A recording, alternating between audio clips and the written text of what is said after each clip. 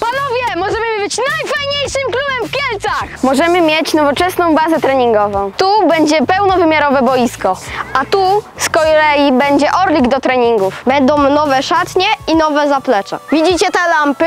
Będą nowe i wreszcie będziemy mogli trenować wieczorami. Tu wybudujemy nowoczesną trybunę. Ta trybuna się nie nadaje do klubu, którego chcemy stworzyć. Widzicie to? To są ślady po dzikach. Dlatego musimy wybudować nowe ogrodzenie, żeby dziki nie niszczyły nam boisk. Walczymy o odbudowę naszego klubu. Chcemy wychować kolejne pokolenia młodych piłkarzy. Do naszej akademii ciągle dołączają nowe talenty. Potrzebujemy bazy treningowej z prawdziwego zdarzenia. Naszą jedyną nadzieją jest budżet obywatelski. Żeby to wszystko zrealizować, wystarczy, że oddasz swój głos. Jeden mały głosik, a może zmienić tak wiele. Robimy to!